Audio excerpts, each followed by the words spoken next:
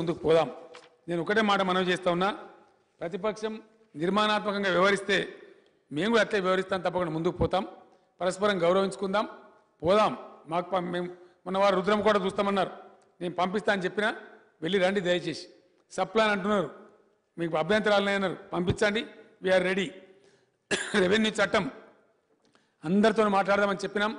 ఒకరోజు కాకపోతే రెండు రోజులు కాదు మూడో రోజులు కూడా శాసనసభ నిర్వహిస్తామని చెప్పినాం. ఆ చట్టం మీద అందరు మాట్లాడాలని మేము కోరుతా ఉన్నాం.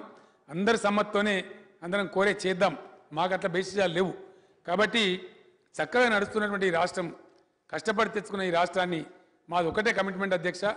వందకు వంద శాతం ఈ రాష్ట్ర రైతాంగం అప్పుల బారి నుంచి బయటపడాలి. తెలంగాణ రైతు జేబులో సంత పెట్టుబడి రావాలి.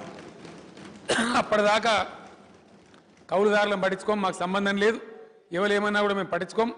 రైతు సంక్షేమం కోసం రైతు పక్షపాతంగా వ్యవహరిస్తాం. వందకు వంద శాతం వ్యవహరిస్తాం అధ్యక్ష.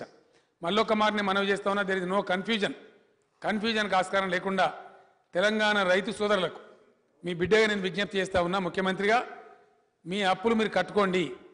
మీ లెక్కలన్నీ మా దగ్గర ఉన్నాయి. బ్యాంకుల నుంచి వివరాలు వచ్చినాయి. ఫైనాన్స్ డిపార్ట్మెంట్ లెక్కలు తీస్తూ ఉంది. మీరు ఎందుకంటే మీ క్రాప్ లోన్ మీరు ఆగద్దు. మీకు ఆల్రెడీ రైతు బంధు వస్తూ ఉంది కొంత వెసులుబాటు ఉంది. మీరు కట్టేసుకోండి రినివల్ చేసుకోండి. మీ డబ్బు మేము ప్రామిస్ చేసిన నాటికి కటాఫ్ డేట్ వరకు ఎంతైతే మీ అప్పు ఉందో అంత అప్పు లక్ష రూపాయల వరకు ఉన్న అప్పును ఖచ్చితంగా మీకే పంపిస్తాం. మీకు షార్ట్ పీరియడ్లో లెటర్స్ వస్తాయి. ఆ డబ్బు మీ చేతికే వస్తుంది కాబట్టి మీకు ఇబ్బంది లేదు కాబట్టి ఆ విధంగా ఉండండి. పార్టీలు రాజకీయాల కోసం చేసే గోరలకు మీరు గురి కావద్దని కూడా రైతు సోదరులకు నేను మనవి చేస్తా ఉన్నా. కన్ఫ్యూజన్ కూడా అవసరం లేదని కూడా మనవి చేస్తా ఉన్నా అధ్యక్ష. ఈ సంవత్సరం ఆరు వేల కోట్ల రూపాయలు పెట్టినాం రుణమాఫీ మీద. ఇదే కాంగ్రెస్ నాయకులు సభలో ఒక రకంగా మాట్లాడుతూ ఉన్నారు. స్పష్టత లేదు అని స్పష్టత ఉంది కదా అధ్యక్ష? విడతలుగా చేస్తామని చెప్పినాం ఎలక్షన్లో మేము. వాళ్ళు ఒక విడత అన్నారు కాదని అన్నాం మేము. మా వల్ల కాదన్నాం. వాళ్ళు రెండు లక్షలు అన్నారు మేము లక్ష అన్నాం.